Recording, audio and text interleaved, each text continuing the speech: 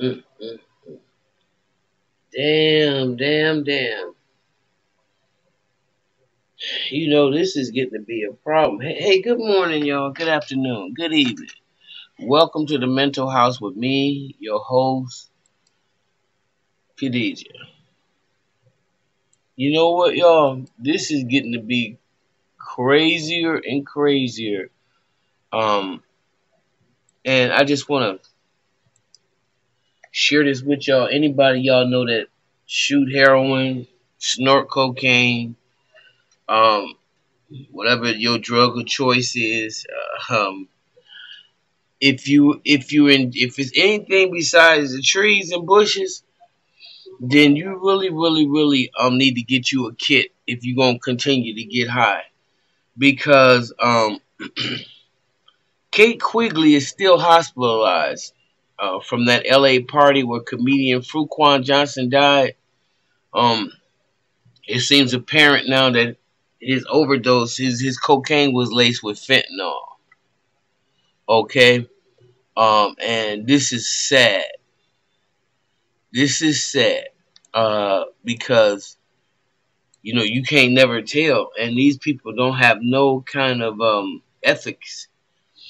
Uh, they cutting it themselves to stretch it, or they just doing what they do, and not mattering that people die as long as they get paid. And I heard the guy that's that is on the run that sold uh, Michael K. Williams that last uh, lethal dose that he had. The Los Angeles comedy scene and beyond are reeling after comedian Fuquan Johnson was pronounced dead September 3rd after an apparent overdose at a party in Venice. Two other people who have not yet been named have also died. Wow from the tainted drugs.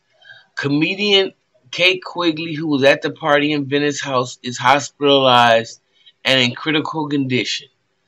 A fellow comedian shared his message to him on social media.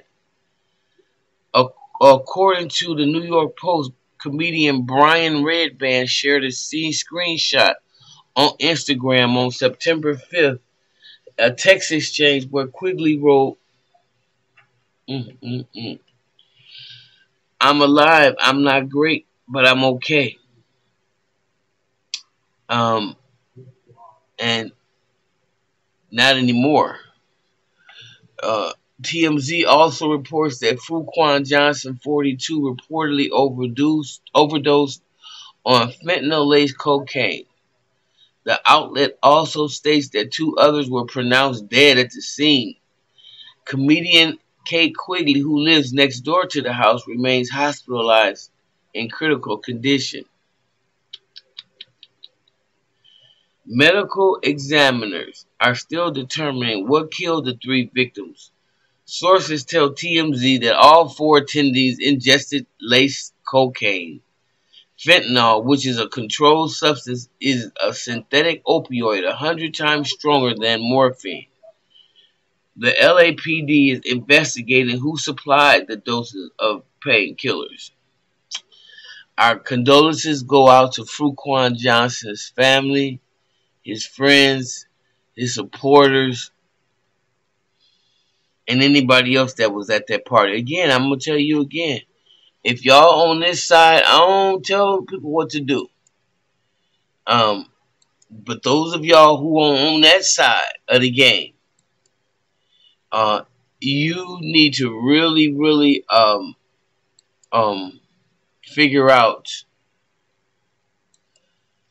uh, how you going to get high. Because if you ask me, you you you need a test. Now, you need a test. A tester kit for your drugs. Because this right here, people are showing you they don't give a damn about you. So, um, a tester kit is in order, and I would suggest that you get it. with that being said, if you like what you hear, please like, subscribe, share the video, and I'll see